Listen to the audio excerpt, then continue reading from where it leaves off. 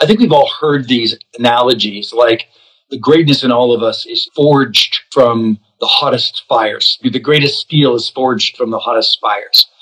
And crisis does bring out a lot in people.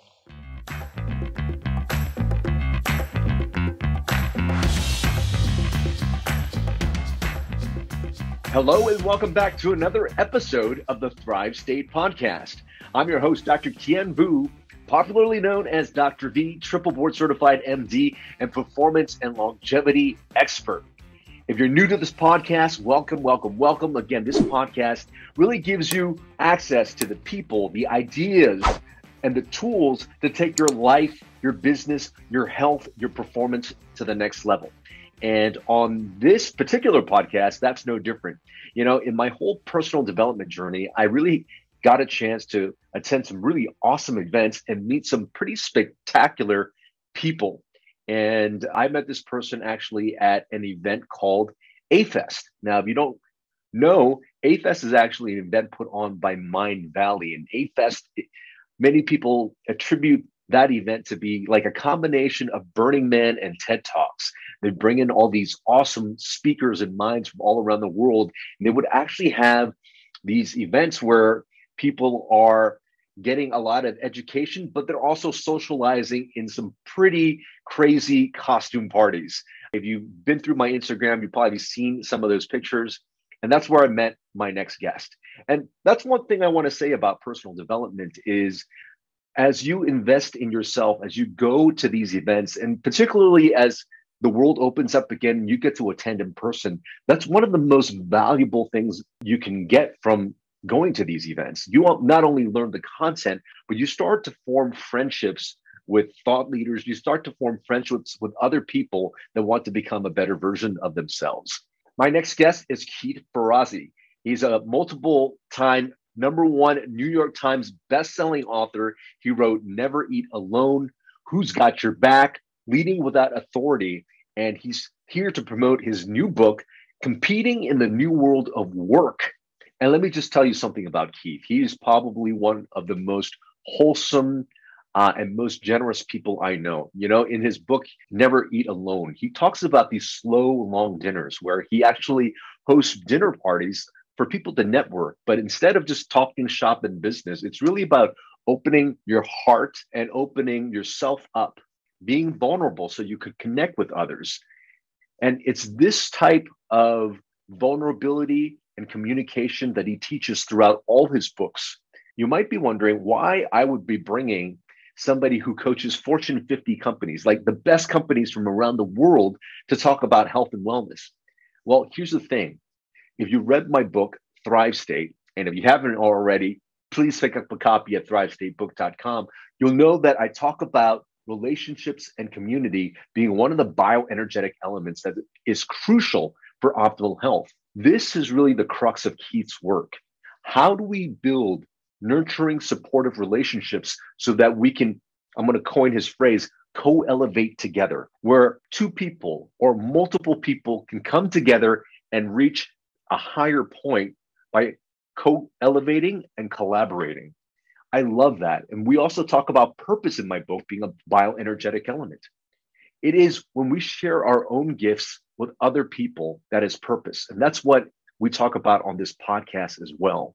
So yes, he does coach, you know, Fortune 50 companies to reach the next level, but all these techniques can also be used in your families, in your personal relationships, in schools to elevate those communities to the next level as well. So I'm super excited, you know, with this conversation. You're going to love it. So a little bit more about Keith Ferrazzi. He's actually the chairman of Ferrazzi Greenlight and the Greenlight Research Institute, where he works to identify behaviors that block global organizations from reaching their goals and transform them by coaching new behaviors that increase growth and shareholder value. Formerly, he was the CMO of Deloitte and Starwood Hotels. He's well known for spreading his ideas with enduring influence as the number one New York Times bestselling author of Who's Got Your Back and Never Eat Alone. He's also a frequent contributor to the Harvard Business Review, Forbes, Fortune, and many other leading publications. He has distilled over 20 years of experience from the C suite to founding his own companies into practices and solution he brings to every engagement. Ladies and gentlemen, please welcome a very, very dear friend of mine, Keith Ferrazzi. There he is, Keith Ferrazzi. What did you have on your face a second ago? oh, this is well, you know, you know, I am engaged to celebrity makeup person, so this is a skin hydrator. Oh, God. It hydrates basically. You know, I have to look pretty for you, Keith. You know, I've given up. well, my age, the... I've given up. you look great. You look great. I mean, if, ladies and gentlemen, if you've seen Keith Ferrazzi with his shirt off, you know that he is in Thrive State as well. Uh, welcome. I know you've got an event to, to appear at 11 o'clock, so thank you for your time. We start off, you know, our conversations with something called Five to Thrive, which is basically five quick questions just to get the conversation lubricated for us to go a little bit deeper. So actually, it's, it's a game. Each question is worth 1,000 points. And if you win, you get a slow, long dinner with me. Remember, every question is less than a minute long, so not long answers. Question number one is What is your favorite childhood memory? My favorite childhood memory is probably fishing with my mother. Oh, fishing with your mother. All right. Question number two What would you say is a gift that we've received, or at least you received through the pandemic? I fell in love. Oh, beautiful. Thank God for Swipe Right. Very good. Kale, I hope you're watching. Question number three is a two parter. One, what is a long, slow dinner? And the second part to that question is who is alive right now that you haven't actually had a dinner yet or met yet that you would like to have a long, slow dinner with? First of all, long slow dinner is something. It was a piece of beautiful advice that one of my greatest mentors, Greg Seal, who was the former CEO of Deloitte, uh, gave to me. Anytime there's something poignant and important to do with somebody, launch of a new project, anytime you're twisted or have a challenge with somebody, you know, business partner that you may be misaligned with or angry about, anytime that there is an opportunity to innovate or create, he said, Keith, have a long, slow dinner with that person. Mm-hmm.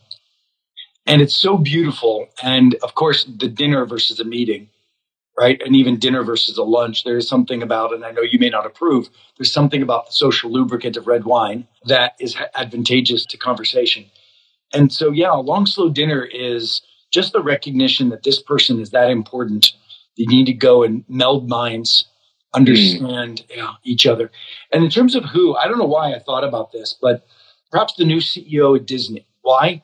You know, I I coach executive teams and coach the turnaround at General Motors and a number of organizations. I coach unicorns and I coach Fortune 50 companies. In my backyard, there happens to be one of the most important companies in the world, and it would be great to get to uh, get to know her. All right.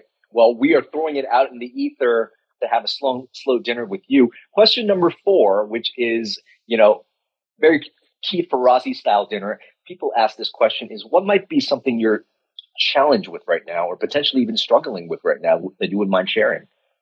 Well, first of all, I'm blessed. Life has been so abundant in, in general. With all of the disruption, I made a real commitment to utilize the time of the pandemic for a reboot and I think what I'm probably struggling with is I'm starting now to see where I want to go in life and in and professionally. My organization, we are doing beautifully, never been better. Bottom line is I need a business partner that I can really co-create the next generation of the company with. And that is something I'm just putting out to the ether. That individual will be beautifully intimidating to me intellectually will have an open heart. You know, interestingly enough, I thought I had found perhaps that person during the pandemic and as an old friend of mine who also had gone to Yale, but not with me, younger than I am. And we started working together and really loved it. But I found that our business, he was more of a products guy, really wanted to go do that. So now he's he's thriving in a products business. And, you know, I still feel like I, I tasted what it was like to get close. Mm. And so I'm looking for that business partner. All right. Well, we're throwing that out in the ether too. Last question on the five to thrive is, and it goes along with this probably, is how would you like to be remembered or what would you like to be remembered for? You know, I thought about this the other day. I was looking up a friend of mine, hoping that he's still alive. This is an individual that was in his 80s, and I hadn't been in touch with him for a few years. And just, and I unfortunately saw his obituary. What I asked myself, I thought, you know what? I'm going to go write my obituary, and I'm going to write it every year. I'm going to edit it every year. And I didn't do it yet. I think at the end of the day, I'd like to be remembered for having made a global impact on how we relate in the workplace first, but ultimately as humans. And this principle of co elevation, mm. which is at the core of my work. How do you work with a group of individuals to commitment to a mission, but to lift mm. each other up in the meantime? That should be the mission of work and our relationships in the workplace and in life. And as you know, I was lucky enough to find my real co elevating partner during the pandemic. Yeah, beautiful. And this really leads us into really introducing you. Everybody here, I've already introduced you, knows that you're a multi New York Times bestselling author of Never Eat Alone, Who's Got Your Back, Leading Without Authority. And you've got a new book coming out called Competing in the New World of Work. Now, everybody might be asking, why are we bringing somebody in that, that the coaches, these executive teams, these Fortune 50 companies? But what I have found through your and the answer is you're a really good friend and you're helping me promote my book. that but I've actually extracted many, many different things from your book that is applicable to health, wellness, and yeah. performance. You know, in fact, let's do that. Let's let's have fun during this session. Mm-hmm. And because I believe the way when I wrote this book, it wasn't just for corporate elites. Right. Its intention was to recognize that we're in a new world today. We're in a volatile world that requires all of us to constantly look around corners and see what's possible. And the, the two chapters in the book around foresight and agility, right? Yeah. How are we constantly gaining insights and reinventing ourselves and what we're doing as individuals and looking around corners and then agilely adopting them, right? Mm-hmm. Collaboration and inclusion. How are we building a team around ourselves? Yeah. That won't let us fail, that will lift us up and to elevate us.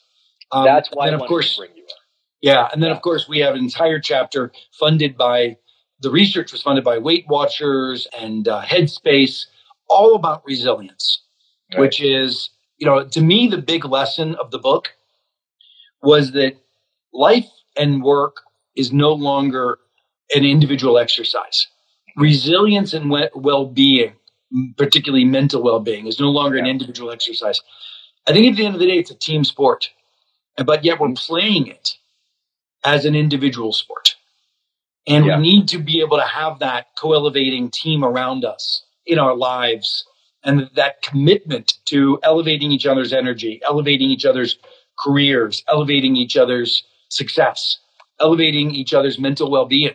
That's just so critically important yeah. And you were someone that definitely walked the talk. I mean, you have taken me in to be a friend, a mentor to me. And so thank you for teaching me all of that. And for those of you who haven't picked up a copy of my book, Thrive State, Keith is also on the cover. You can see his quote right up there. But I basically talk about these elements of relationship and community and also purpose as actually energies that feed ourselves to give us access to optimal health, longevity, and peak performance. And, and that's what your work is really about. It's about lifting up you know other people up. It's really about these communities. It's really about how to communicate with people which is why i'm so excited to bring you in because the concept that you teach these big you know companies can also be be applicable to families to yeah. friendships. Well let's talk about purpose for a second. Yeah. You know too often people in the, who work inside of companies too often individuals are burdened by the belief that purpose is something that has to exist around them. Like well, I don't have any purpose in this company. I don't believe in the company purpose. But purpose is something we create. And I feel that, like when I was at Deloitte, I was in the lowest level of the organization in a big accounting firm. And I had a vision that this platform, so think of your company, think of where you work as a platform. And this platform can be leveraged for me to find and create and engage my purpose. And so what I did was I knew I loved the kind of work I'm doing now. I loved research. I loved thinking. I thought I would want to be an academic, but I didn't want to be poor. so I actually, when I was a kid, I went out and got a, a group of interns at Deloitte to work with me, and we created a mini research institute.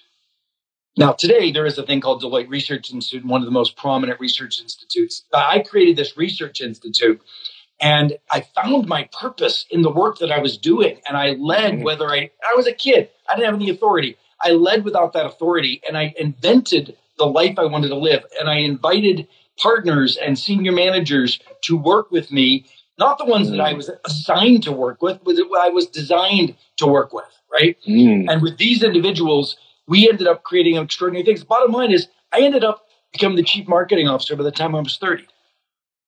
And yeah. now there is a Deloitte research that is one of the most prestigious research institutes. Every one of us can create purpose from the people around us, from the mm. missions we have. The platform, think of the platform as the soil, right? Some are more, more fertile than others. But at the end of the day, it's up to each of us to cultivate it, to grow it, I don't want to say to fertilize it because that may be the wrong using the analogy too much. But anyway, so purpose is something that is in each of our responsibilities, and that's what we found in the last chapter of the book is all about that purpose. That's beautiful, and there's actually scientific proof that those people that actually have a sense of purpose in life actually activates the biology of longevity in ourselves too. And you brought up a few key points that I want people to, to you know to listen to again. It's one finding those things that, that really light you up, that you enjoy, that you know, that, that lighted you up, and then actually serving others with that and serving freely with that. I want to get to your new book. Now, you started off the book talking about Burning Man. And there's a quote from the founder that says, it actually works not in spite of this harsh desert condition, but it's actually because of these conditions that, that works, that these communities actually get together from this shared struggle. So I ask you, Keith, what do you think the pandemic has exposed in terms of the way we work? And why can't we go back to working that way? This episode of the Thrive State podcast is brought to you by the Thrive State Accelerator. The Thrive State Accelerator is actually a home course that I developed using the exact same techniques I work with my celebrity clients, CEOs, and executives on how to get them to the Thrive State. The Thrive State Accelerator teaches you how to master your seven bioenergetic elements that's sleep, nutrition, movement, stress and emotional mastery, relationships, our thoughts and mindset, as well as purpose. In this Thrive State Accelerator, you're also going to get a bonus module on optimization. That's how I talk about supplementation, peptides, all the optimization techniques I use with my clients to get them to the Thrive State. Now, for some of you who are just joining us for the first time, you guys might be wondering, what is the Thrive State? Well, the Thrive State is actually the energy the epigenetic environment we give to ourselves, telling ourselves, telling our DNA how to act and how to respond. And if we want optimal health, longevity, and peak performance, if we can master these seven bioenergetic elements, our ability to have those three things that we just said optimal health, longevity, and peak performance is at its greatest. And it also prevents you from getting chronic symptoms like brain fog, being overweight, feeling sluggish, acne, pain, all these chronic symptoms, as well as preventing you from getting chronic disease. So, getting to that thrive state is really getting to that state to master being that very best version of yourself so you could show up for you, for your family, for your business, everything that's important to you.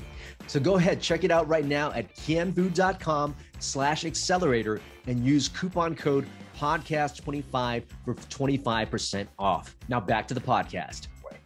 I think we've all heard these analogies like the greatness in all of us is forged from the hottest fires. The greatest steel is forged from the hottest fires. And crisis does bring out a lot in people. And what I found in our research is more often than not, it brought out the need for community. So when I go to Burning Man, Burning Man is, is something is interesting. Burning Man didn't start as a as an experiment of generosity. It wasn't an experiment of community of gifting. It actually started with just a thing that was in a desert.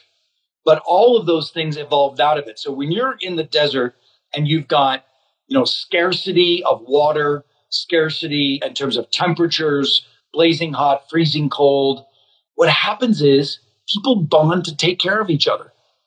That's what happens. And that's Mhm. back to our core essence of survival. That's what happened in our tribal instincts, right? The tribe steps up and comes to each other in that way. That's what happened this year. And I feel badly for the people who dug into a hole and didn't see what was around them the whole time, which is a support network, an empathy network, a vulnerable group of individuals in need of their support, right? Mhm. But also at the same time available to us. And out of crisis is forged amazing things. And if you haven't done that yet, the reason we wrote the book, the reason we researched 2,000 leaders, entrepreneurs, individuals, you know, 2,000 people went into the creation of this book. It's competing in the new world of work. And, mm-hmm. and I hope that you take the opportunity to learn from them. Yeah, over $2 million, I heard, went into the research of this book. Yes? Yes, in fact, you know, and major corporations invested in this. I, I picked up the phone at the peak of the pandemic. I picked up the phone and I called the head of Harvard Business School Publishing and I said, we need to do a research project. We need to do a book. And I don't know what that's going to be on, but it's going to be on what are we learning from this massive inflection point? And he said, done. You know, they didn't have a lot of money. They were worried. They gave me a chunk of change and I said, don't worry about the money. I'll go get it. And I got, you know, 150 from this and 100 from that and whatever. And we ultimately got together two, over more than $2 million Yeah. involved in the research. Beautiful. I want to dive into that, the first half of the book, where you actually bring the concept together that I think is not only applicable for teams at work, but applicable for you being in your communities, applicable to you and your families, because it's what happens when something hits you hard. And it's really the concept of radical adaptability. And there's Yeah. four pillars there that, that I'd love to, to go through because I, I feel that if people could understand this, they could take a hit Yeah. and move forward. Yeah, Can totally we true. over what that is? Totally, totally true. But I have a quick question for you. Is this being recorded? Yeah, Good. absolutely. And and will I be able to go back? I'm seeing such beautiful messages from people I've never met before, Yes. but that followed me, etc., and I've never engaged with. Will will I be able to go back and see these in the Uh, recording? I'm not quite sure if the, the messages uh, are saved, to be honest. But if you've left a message for Keith, please send it to his DM today, Okay, saying that you, you, you listen to this conversation. But but yes, Yeah. you've inspired so many people from Yeah, let me know. I'd world. love. I mean, like I'm looking here, and I'm like, oh wow, we would love to, you know, double click on see that person's profile, etc. So, you know, you Yeah. know, I'm not as uh, I don't spend as much time here as as you do. I have a lot of respect for how much you give to your community, truly. Yeah. But let's back get back to the point. So, look, what does it mean to be radically adaptable? And it starts with number one, keeping your antenna constantly tuned to changes, constantly tuned to changes and opportunities and risks. So at the peak of the pandemic, there were some organizations that even had operations in China Mhm. that were caught on their heels, surprised on March 13th. What the hell? You know, why is it that they had the data, but they didn't turn it into action? Whereas there were other organizations that, like uh, Rick Ambrose at uh, an aerospace company called Lockheed, he did not have operations in China. However, he had a process where on a monthly basis he'd get together with his team and literally as a part of the agenda, five minutes, he'd say to his team, what risks are you seeing and what opportunities might we be missing? And that simple question to a group of people, and I don't care, you know, Ken, you could do this yourself. I mean, you know, you can just, you could ask your five most intimate friends that question. What do you think are the risks that I'm not seeing? What do you Yeah. think are the opportunities I'm missing? Right? Simple Yeah. question. You get that triangulation. And Lockheed went fully virtual in February. They, they didn't have the same problem finding PPE everybody else did. They weren't scrambling. Their technology was was fortified and in place. They went, they, and because of that foresight, then the question is, what is your actionability? Mhm. So foresight is number one, and agile is the other. I want everybody to live their life in weekly sprints.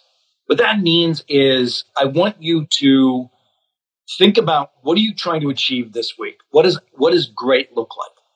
Mhm. Right? What and I want don't want you to think about shit you have to do. I want you to think about things you want to outcomes you are going to achieve. And I want you to write them down. And then at the end of the week, I want you to look at that list and say, okay, what did I achieve? Where did I struggle? What did I miss? What's my next week look like? Now, all of that should be, of course, aimed at this North Star strategy of where you're trying to go, right?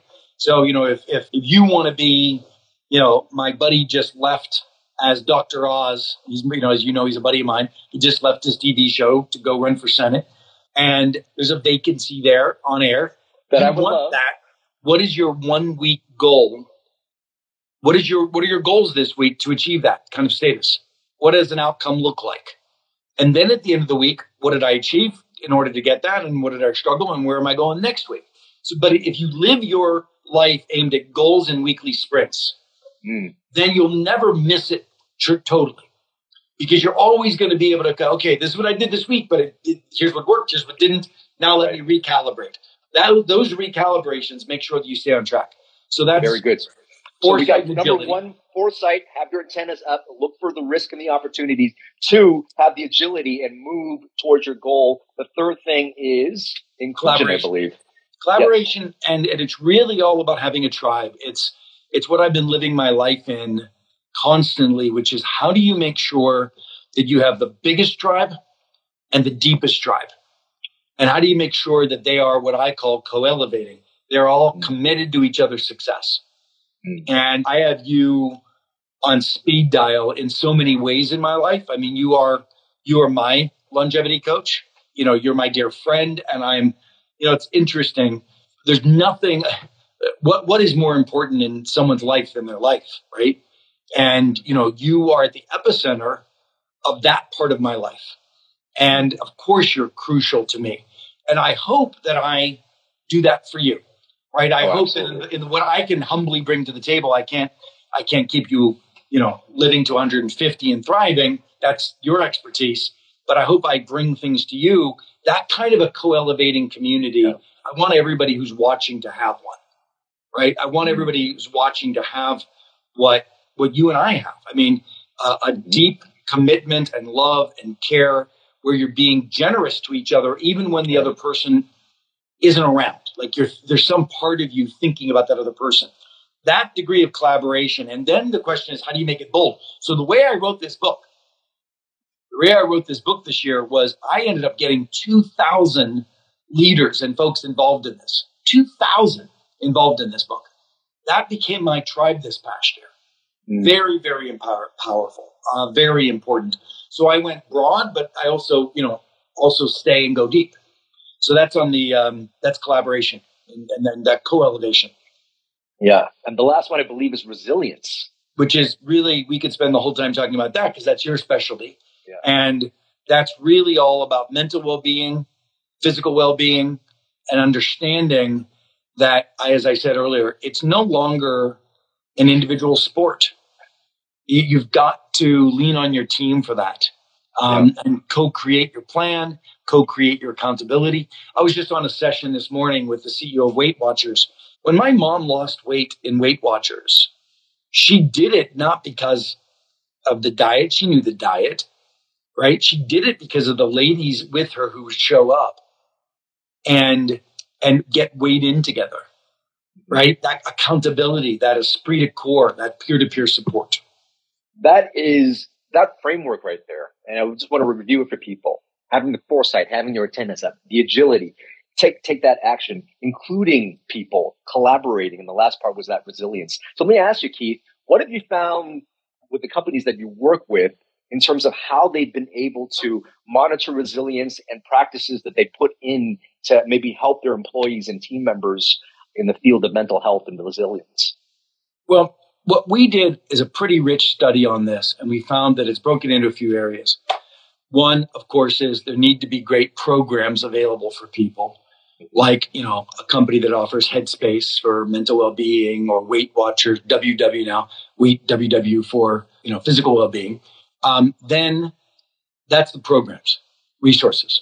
But then the other thing is leaders need to be have a heightened awareness that it is their responsibility to cultivate an environment where people are taking care of each other.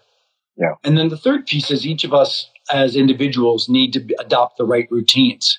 Yeah. Which, if you just, you know, my, my advice to all of you out there is if you just stay here and listen to this amazing man, you'll begin to adopt those routines exactly as you need for personal, mental, and physical wellness. Oh, beautiful. Thank you so much, Keith. I know you got to leave soon. Yeah, I do, unfortunately. Uh, so Sorry. Can you let people know where to find your new book? Uh, yeah. Because it's coming out next week, February. Yeah, first of all, you can get it anywhere right now. But if you want to get the video series that we are giving away for free around the book, only this month, then you go to radicallyadapt.com. And once you buy the book, you tell us you did at radicallyadapt.com. We'll send you the video series. So beautiful. You can buy the book anywhere, but please let us know that you bought it so that we can send you the free video series as a result. And I do appreciate you supporting the book, but most importantly, I'm excited about each of you learning from 2000 of the most extraordinary people on how they leveraged this inflection point of the pandemic to not go back to old ways, but to go forward. What a great concept. And I want to just reiterate to people it is not just for people in companies. You can use this, apply this in your life, into your communities, into your families. So, highly recommend you get it, pre order it, go to the video course. The last question for you, Keith, is what an amazing life you've had thus far. What has been your best medicine? Love. Mm. See you, brother. I hope you enjoyed that episode of the Thrive State podcast. And if this podcast is bringing a lot of value to you, if you find that your life is just improving with this podcast, that your life is getting to the next level, please consider supporting it. And here's a few ways you can do so. You can do so by liking this video and commenting on this video, and also sharing this video with your friends and family. Another thing you can do is go to ratethispodcast.com slash thrive state. Go ahead and leave us a five-star review there. It will really, really help this show grow. And it, this will give me more time so that I could actually give more content to you, just like you got in this episode. And if you haven't already picked up a copy of my book, Thrive State, your blueprint for optimal health, longevity, and peak performance. You can pick it up now. It became a number one new release in longevity. Go to thrivestatebook.com. And if you enjoy the book, please consider leaving us a review as well. And the last thing you can do if you're liking everything here and you want to work uh, more closely with me as well as my team to get you into the Thrive State, go to kienvuu.com slash accelerator and consider joining the home course, the Thrive State Accelerator. It's really the course that I use. It's the concepts that I use personally when I work with CEOs, celebrities, and my high profile clients to get them to the Thrive State. Again, the Thrive State Accelerator at kienvuu.com slash accelerator. And because you're a listener of this podcast, I want you to save 25% by using the coupon code podcast25. I hope we continue to give value to you. And remember always, you are your best medicine.